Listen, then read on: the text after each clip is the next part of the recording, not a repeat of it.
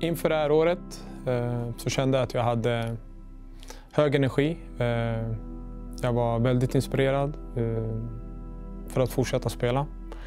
Eh, sen har mitt beslut eh, växt fram under året eh, där jag känner att eh, min kropp eh, orkar definitivt. Eh, jag skulle kunna spela men eh, mentalt så har jag inte det i mig längre.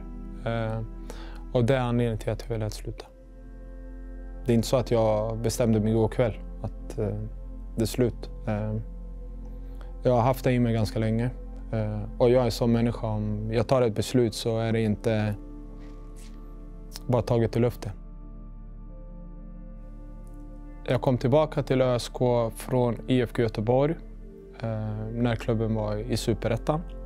Eh, för att jag kände att eh, jag ville hem. Eh, jag saknade Örebro som stad.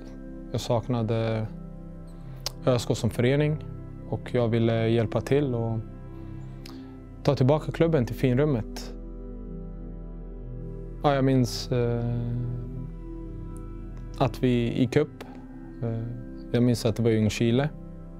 Eh, jag minns eh, firandet efteråt med supportrarna. Eh, jag minns bussresan hem. Ehm, det var en extrem glädje.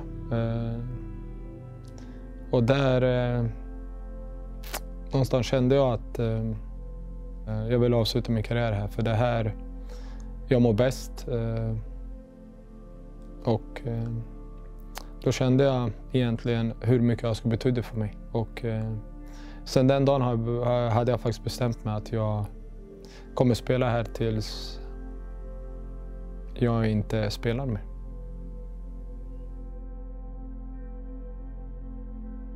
Idag är jag 38. Eh, jag började spela i ÖSK när jag var 10, så 28 år av mitt liv i stort sett har ÖSK varit en del av. Eh, och eh, det är som en familjemedlem. Jag är väldigt stolt över och väldigt, eh, jag känner mig till, tillfreds med den personen jag är idag. Så har jag väldigt mycket att tacka för, eh, för det livet jag har idag.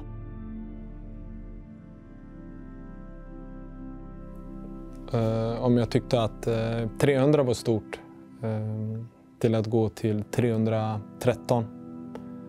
Då slår rekordet eh, i mest allsvenska matcher i klubbens historia. Den känslan eh, har jag inte släppt än. Um, för mig är det väldigt, väldigt, väldigt stort med den eh, historia jag har med ÖSK. Eh, och ÖSK-supportrar. Eh, kändes bara, jag känner bara en glädje av att få dela det med alla. Eh, och jag vill tacka alla återigen. För eh, utan er hade jag inte gjort de matcherna. Och, eh, framförallt vill jag tacka ÖSK för att de har gett mig chansen att göra det.